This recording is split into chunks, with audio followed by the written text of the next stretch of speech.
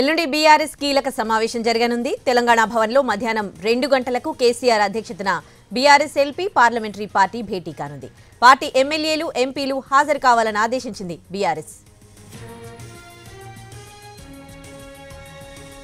దీనికి సంబంధించి పూర్తి డీటెయిల్స్ మా ప్రతినిధి రాఘవేంద్ర ఫోనులో అందిస్తారు. రాఘవేంద్ర అంటే ఈ సమావేశం ముఖ్య ఉద్దేశం ఏంటి? ఎల్లుండి తెలంగాణ భవన్లో బీఆర్ఎస్ పార్టీ లెజిస్లేచర్ అదేవిధంగా పార్లమెంటరీ పార్టీ సమావేశం జరగబోతుంది. కేసీఆర్ అధ్యక్షత ఈ సమావేశం మధ్యాహ్నం రెండు గంటలకు ప్రారంభం కాబోతుంది.